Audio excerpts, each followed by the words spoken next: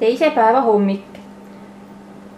mina ei ole hommikuinimene ja see hommikune kassidele söögi tükeldamine võtab mul päris palju aega. Ja nad on mul täitsa nä närvilised. Närvilised olete ja sest et nüüd on meil ainult kaks korda päevas söömine ja toidukogused väiksemad ja äh, see muudab nad natuke närviliseks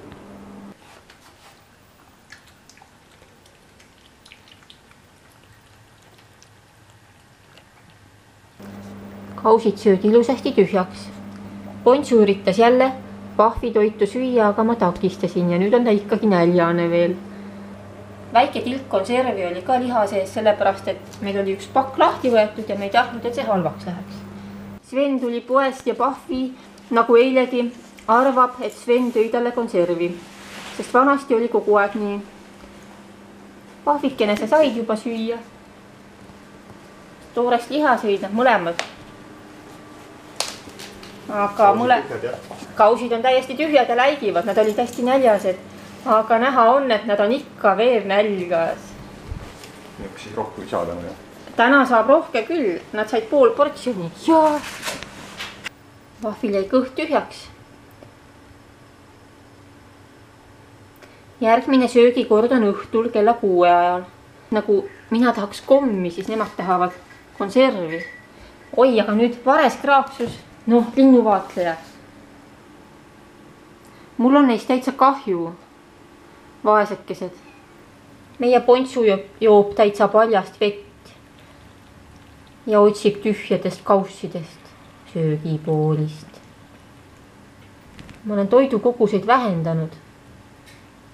Nad on harjunud sööma rohkem ja nad on harjunud sööma poetoitu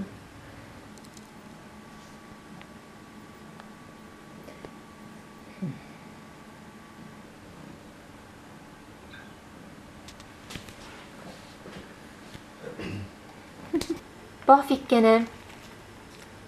kas sa leidsid konservi sealt või? seal on ainult kilekotid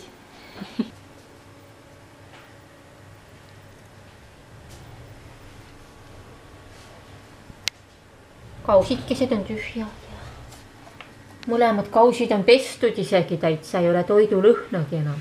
kell on neli. pahvi. no näe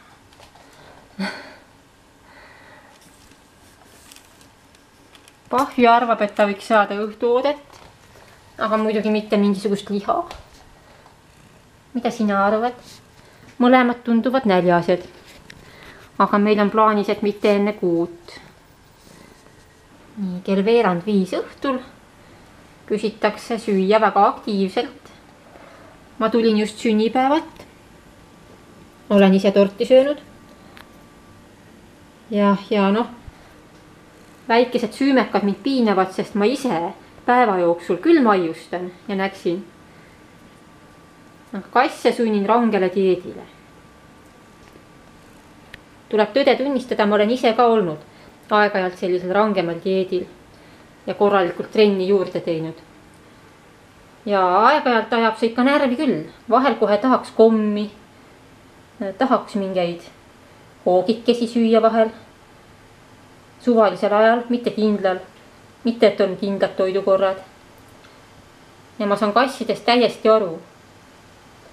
nii nagu mul on suhkrusõltuvus, on neil ka teatud ainetest tekkinud sõltuvus. äkki ootate veel tunnikese, mis te arvate?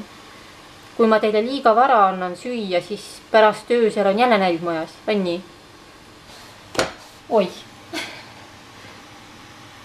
mängimisega viin neil tähelepanu mujale, toidu juurest eemale.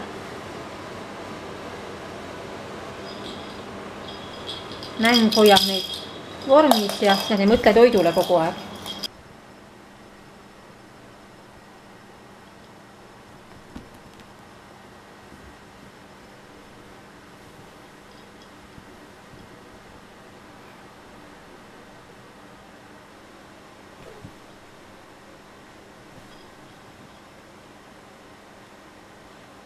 see on nende lemmikmäng.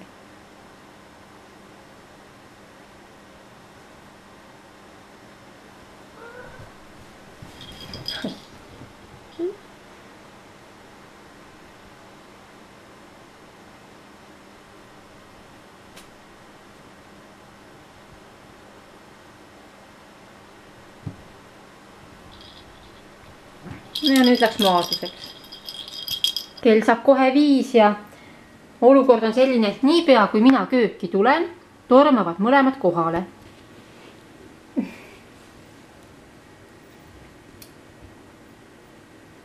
ei suutnud enam seda toidu nurumist kannatada ja andsin neile õhtusöögi tund aega varem kätte Pontsu sõi oma kausi hetkega tühjaks ja nüüd läheb Pahvi juurde. Pahvi sööb palju kauem. Pontsu, jah, tule siia. jaa. kuidas sa nii palju sööd, ise palju väiksem kui Pahvi? las Pont. nüüd üritab teiselt poolt minna.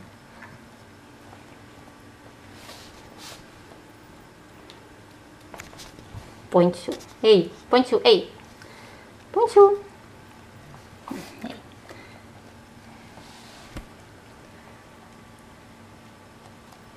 Mine siis. no Pahvi jättis natuke järgi ja selle tilga sööb Ponsu siis ära. kell on kaheksa. kolm tundi on õhtusöögist möödas. ilmus Ponsu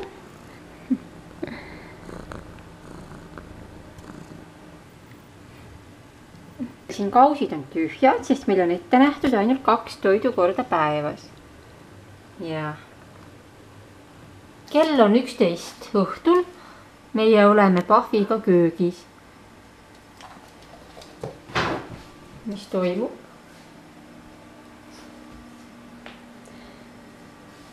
kassid just kaklesid natuke agressiivselt. võib see olla tingitud sellest, et nad ei saa oma lemmiktoitu ja on närvis.